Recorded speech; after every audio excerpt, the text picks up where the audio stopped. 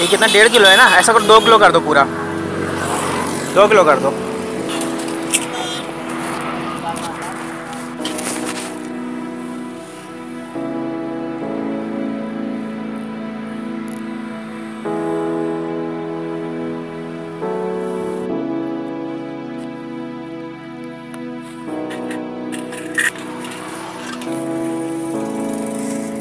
कितने के हुए?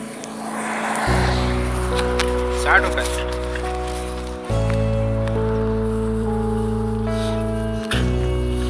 ये लो साठ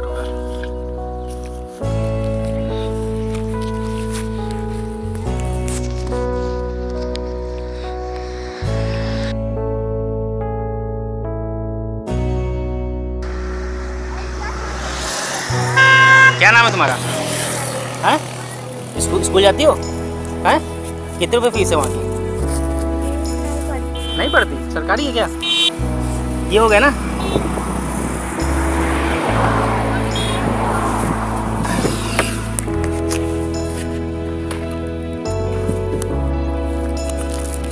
ये लो, ये रख लो मेरी तरफ़ से। बड़ा भाई समझ के, ठीक है? मम्मी बता देना ठीक है?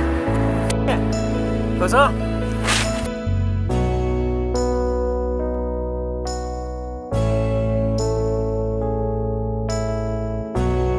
को बता देना ठीक है?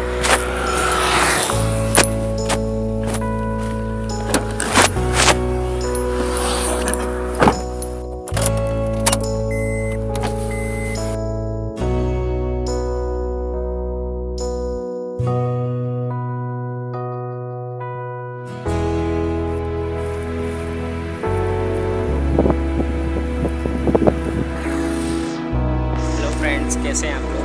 मैं यहाँ से कानपुर का रास्ता है और मैं यहाँ से जो है एक गाँव जा रहा था, किसी काम से। रास्ते में देखा एक लड़की जो है अमरूद बेच रही थी। इस रो, इस यहाँ पे बहुत गर्मी है, बहुत ज़्यादा गर्मी है। और उस गर्मी में जो है अमरूद बेच रही थी। और हम लोग एसी गाड़ी में बैठते हैं, उसमें भी गर्मी लगती है, वो धूप में जो है अमरूद बेच रही थी।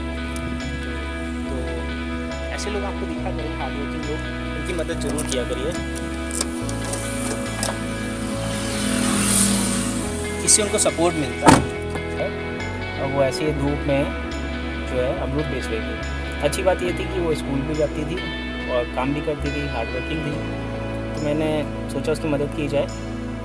तो आप लोग भी ऐसे मदद किया करिए। इसी तरह हमारा और वरुण सर का सपना जो है सच होगा कि आप लोग भी ये सब करें। तो एक चेंज लाइए अपने अंदर भी और लोगों की मदद कीजिए। Thank you for watching okay 拜拜。